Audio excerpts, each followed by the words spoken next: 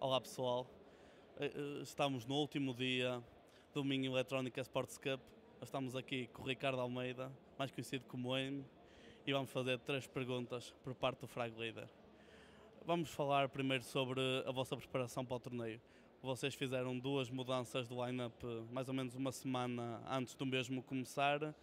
Eh, Diz-me, a preparação que fizeram, fala- fala-nos sobre ela. Eh, nós, nós fizemos as mudanças logo no dia a seguir ao, ao torneio da 4Games, ao qualificador. Eh, infelizmente não pudemos treinar esta semana, só treinamos, lá está, nesta última semana. Ah, vimos alguns mapas, coisas básicas, pronto, e fizemos o melhor que pudemos, não é?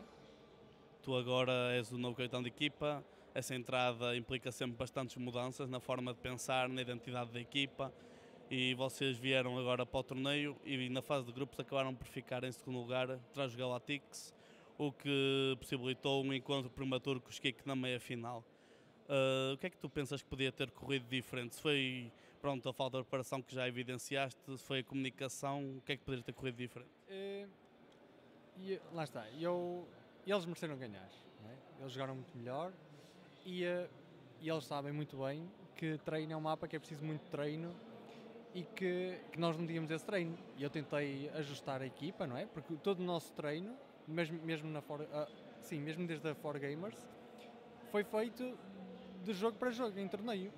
Portanto, nós, nós tentamos ajustar o, ajustar e fazer o melhor possível, não é? Só que lá está, eles aproveitaram e acabaram o jogo, mataram logo o jogo. Não podíamos fazer muito mais. E mereceram ganhar, não é? E vemo-nos para a próxima.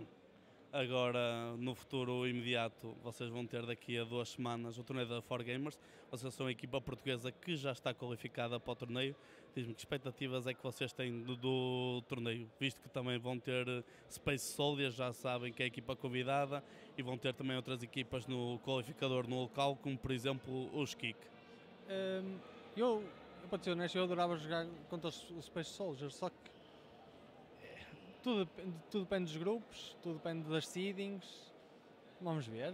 Em termos de treinos, também duas semanas não é quase nada. Nós vimos que é cinco mapas, tipo, à pressão, e é preciso muito mais tempo. Lá está, vamos tentar fazer o nosso melhor, treinar agora, aproveitar o tempo que temos e pronto, vamos ver o que é que sai daqui. Ora, portanto, muito boa sorte, Teime, e para a tua equipa, os Alentec. E vamos despedir aqui, Frag Leader.